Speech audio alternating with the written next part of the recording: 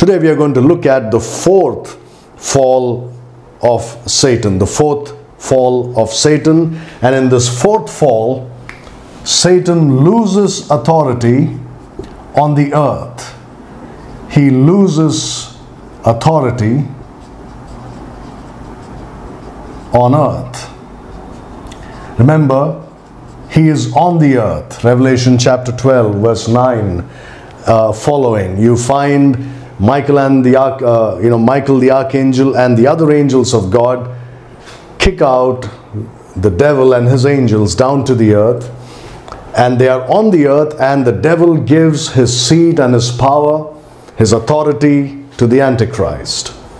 Right? And he rules the earth.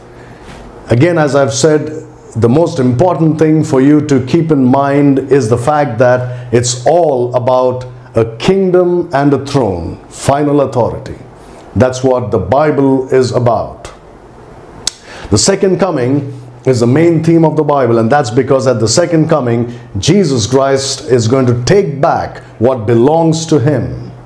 He's going to sit on the throne of David and rule the earth for a thousand years, and after that, rule throughout eternity.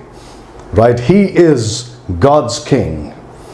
And the devil tries his best to usurp the throne of the Son of God. But in the end, we know by reading the book of Revelation and other parts of Scripture that Jesus Christ will defeat the devil and take the kingdom.